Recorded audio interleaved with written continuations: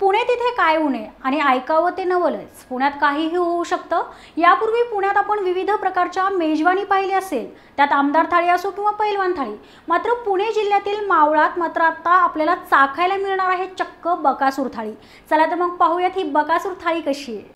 बकासूर थाळी नाव ऐकून थक्क झालात ना? होय वडगाव मावळच्या शिवराज भोजनालय येथे ही थाळी चाखायला मिळतीये.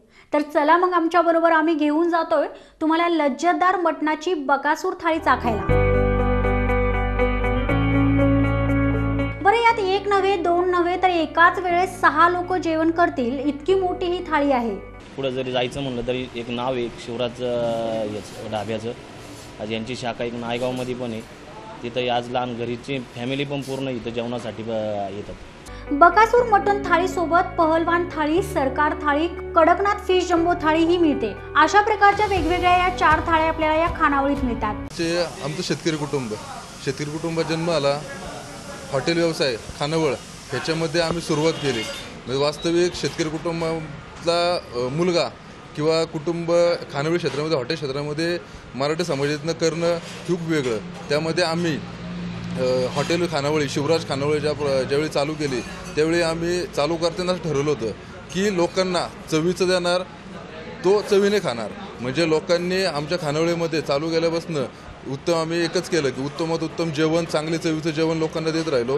त्यामुळे आजही जो माणूस आमच्या खानावळीमध्ये जेवण करून जातो मुंबईचा असो हा मुंबई पुणे हायवे असल्यामुळे मुंबई पुणेचे लोक सतत येत राहतात पर्यटक येत राहतात. त्यामुळे एकदा जेवण करून गेलेला व्यक्ती हा निश्चितच शंभर टक्के आम्ही गॅरंटी तो परत येतोय.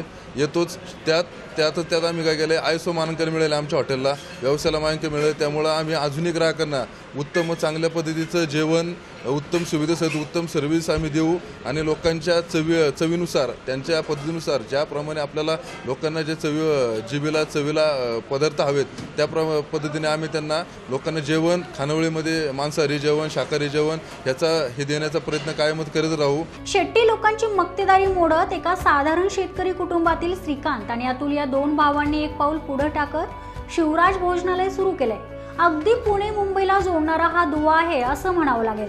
कारण इथे येणारे ग्राहक हे जास्त पुण्या मुंबईचे खवे म्हटलं तरी वावगं ठरणार नाही. बहुत ही अच्छा टेस्ट है। इससे पहले हम बहुत बार इधर आए। हैं अच्छे प्राइस प्राइस भी अच्छा है। बाहर खाते हाँ। दोनों में तो फ़र्क है। रेपुटेड ये मावल में जितना भी होटल है सबसे बेहतर है। इसलिए अच्छा है या भोजनालयाची वैशिष्ट्ये भरपूर असल्याने ग्राहक आकर्षित होतात. स्वच्छता नीटनिटकेपणा दर्जेदार माल आणि नम्रता यामुळे नुकताच या भोजनालयाला केंद्र शासनाच्या आय एस ओ सर्टिफिकेटने देखील सन्मानित केलं गेलंय. संपूर्ण पुणे जिल्ह्यात एकमेव भोजनालय हे आय एस ओ मानांकनाने सन्मानित होण्याची पहिलीच वेळ आहे. त्यामुळे पुणेकरांसाठी ही अभिमानाचीच गोष्ट म्हणावं लागेल. आपल्या इथे पुणे मुंबईला येणारे भरपूर असे कस्टमर आहेत.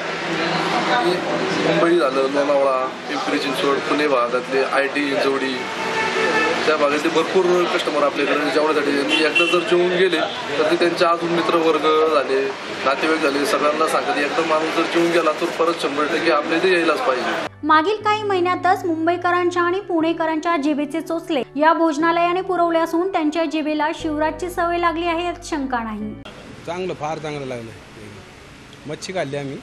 तर ते बाकी इतर ठिकाणापेक्षा चांगलं मी चव चांगली वेळ लागली. आज पहिल्यांदाच आले की नेहमी? मी पहिल्यांदाच आलो इथं. या मटण खानावळीत स्वतः भोजनालयाचे शेतकरी मालक ग्राहकांची विचारपूस करतात चांगली सेवा देतात. त्यामुळे अल्पावधीतच भोजनालय प्रसिद्धीच्या झोतात येऊन खवय्याच्या आवडीचे ठिकाण झालंय. त्यामुळेच की काय शिवराज भोजनालयाचे मालक हे खरे उतरताना पाहायला मिळतात म्हणूनच इथली बकासूर थाळी ही फेमस झाली आहे प्रतिनिधी मोहन दुबे दिनमान न्यूज पिंपरी चिंचवड.